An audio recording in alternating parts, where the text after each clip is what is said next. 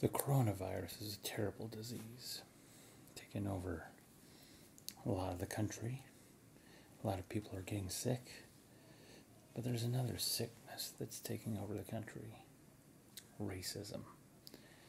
It's just taking over. I um, sat down and I watched that Grant, uh, George Floyd video, and it was disturbing, but I felt like it was necessary to watch so that that way we know exactly the magnitude of the situation. He was asking for help. Um, I think was it was Eric Gardner who was saying almost the same stuff. I can't breathe. Next thing you know, that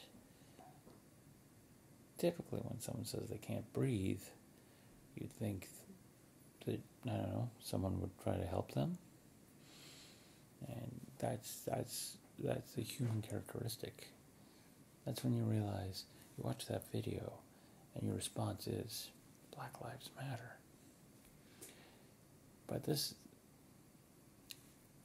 this year has kind of caused a bit of a um, a bit of a revolution, a revolution in mind mindset and and viewpoints, and it's changed a lot of the way that we're thinking about things, and hopefully these protests that are everywhere are going on. You know, it's it's it's a by it's not a byproduct of anything other than humanity. And hopefully we can become better for it. Hopefully we can learn to finally overcome this and, and unify. How many years has it been?